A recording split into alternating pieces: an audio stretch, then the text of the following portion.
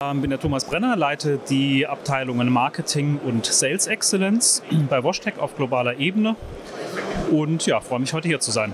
Digitalisierung bewegt letzten Endes uns alle und macht auch vor der Carwash-Branche nicht Halt. Aus dem Grund haben wir eigentlich zwei große ähm, Lösungen ähm, zum, äh, anzubieten.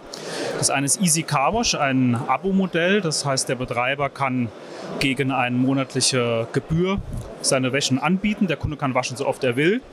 Kann das alles ganz einfach und bequem über sein Smartphone steuern. Ähm, braucht auch keinen äh, Operator mehr an der Anlage, bei dem er die Wäsche kauft. Hinterlegt die Kreditkarte und zahlt. Äh, das zweite ist die Maschine, die wir hier im Hintergrund sehen. Das ist unsere neue Maschine, die wir heute exklusiv launchen in Deutschland. Das ist die Smart Care, die sich dadurch auszeichnet, dass sie sehr viele Funktionen remote ähm, ermöglicht. Das heißt, ähm, ich kann Waschprogramme am Rechner gestalten, direkt auf die Maschine spielen, kann die Chemiefüllstände überwachen, habe Dosierungseinstellungen, die ich ändern kann. Das heißt, die Vernetzung und die Möglichkeiten, die die Digitalisierung bietet, haben wir in dieser Maschine voll integriert, um unseren Kunden ähm, den maximalen Kundennutzen zu bieten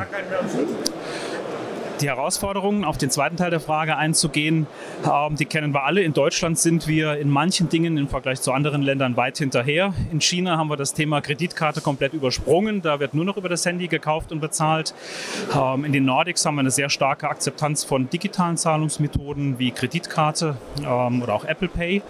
Da sind wir in Deutschland natürlich noch ein bisschen hinten dran. Oder was wir tun, um das zu ändern, ist letzten Endes die Erklärung, ähm, dem Kunden gegenüber, dass er zum Beispiel mit Kreditkarte zahlen kann, dass er die App runterladen kann, über die App die Maschine steuern kann. Er kann auch Einzelwäschen über die Easy Carwash App kaufen.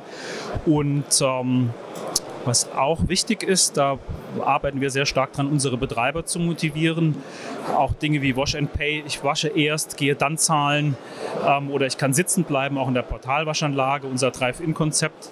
Das funktioniert natürlich nur, wenn wir es auch erklären und wenn der Betreiber das kennt, weil ansonsten hat er den gewohnten Waschprozess, fährt vor die Halle, wartet bis sie frei ist, fährt rein, rennt in den Shop, kauft ein Ticket, äh, geht dann wieder zurück, äh, startet die Wäsche. Das können wir heute alles viel smarter und äh, convenient, mehr, mit mehr Convenience anbieten. Und das sind natürlich genau die Themen, an denen wir arbeiten, um dem Kunden und dem Betreiber das Waschgeschäft einfacher zu machen, mit letztendlich dem Ziel, ähm, den Umsatz zu erhöhen. Das schaffen wir über zwei Stellschrauben. Das eine ist der Durchschnittspreis und das andere ist die Anzahl der verkauften Wäschen. Ähm, wenn ich es schaffe, beides nach oben zu bringen, ähm, ist der Betreiber natürlich deutlich erfolgreicher mit seinem Waschgeschäft.